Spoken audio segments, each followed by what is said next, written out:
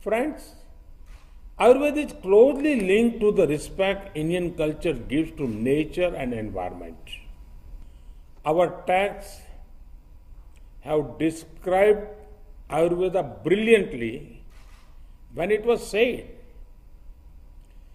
Hita hitam sukham dukham, आयु तस्य हिताहितम मानम च तच्च यत्र उक्तम Ayurveda sa uchyate.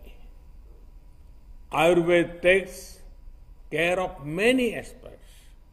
It ensures good health and long life.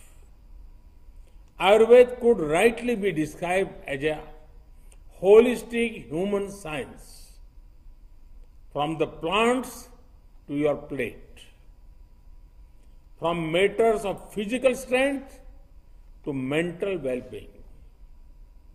The impact and influence of Ayurveda and traditional medicine is immense.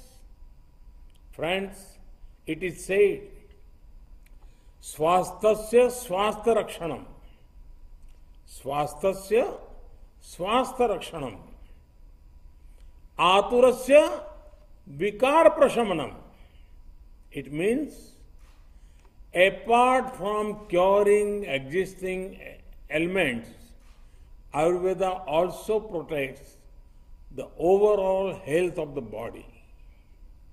No wonder that more than rog ayurveda talks about nirog. Try to understand rog and nirog. Back in the day, if someone went to a Vaidraj, he or she not only got a medicine, but also a few mantras. Mantras like भोजन करे आराम से सब चिंता को मार चबा चबा कर खाइए वैद्य न आवे द्वार It means enjoy your food without any tension. Relish every bite of the food. Chew it patiently. This way, you will never have to call a Vaidraj home again.